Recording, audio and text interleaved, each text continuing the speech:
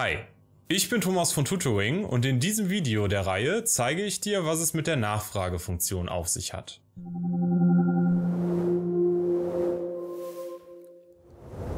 Die Nachfragefunktion zeigt die nachgefragte Menge eines Gutes in Abhängigkeit von seinem Preis.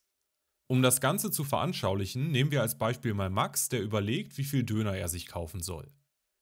Bevor wir uns die mathematische Formulierung der Nachfragefunktion anschauen, nehmen wir zur grafischen Darstellung erstmal eine Tabelle.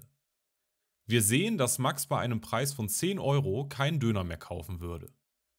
Diesen Punkt bezeichnen wir als Prohibitivpreis oder auch als maximale Zahlungsbereitschaft. Mit sinkendem Preis steigt seine Bereitschaft, Döner zu kaufen, aber nur bis zum fünften Döner. Diesen Punkt bezeichnen wir als Sättigungsmenge. Falls du dich jetzt fragst, wieso Max nicht unendlich viele Döner konsumieren möchte, dann denk an das erste Gossensche Gesetz. Dieses besagt nämlich, dass der zusätzliche Nutzen mit jeder weiteren Einheit eines Gutes abnimmt. Der erste Döner bringt ihm einen hohen Nutzenzuwachs. Dadurch ist er für diesen auch bereit, einen vergleichsweise hohen Preis zu bezahlen. Mit jedem weiteren Döner wird der Nutzenzuwachs aber immer geringer, wodurch auch seine Zahlungsbereitschaft sinkt. Bei der Sättigungsmenge ist der Nutzenzuwachs somit null. Also ist er an diesem Punkt nicht bereit, für den Döner etwas zu bezahlen.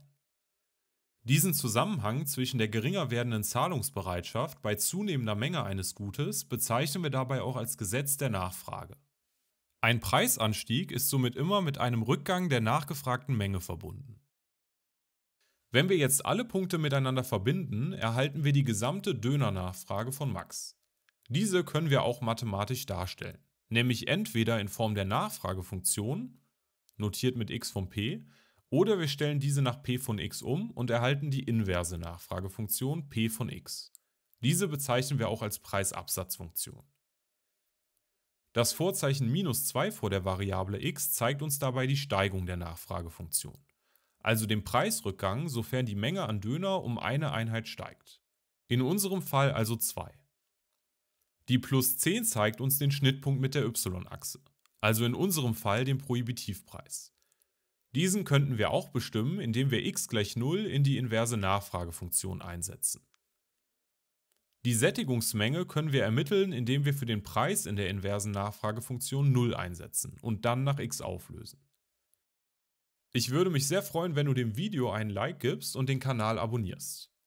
In den nächsten Videos der Reihe zeige ich dir die verschiedenen Möglichkeiten, mit denen du die Preiselastizität der Nachfrage bestimmen kannst.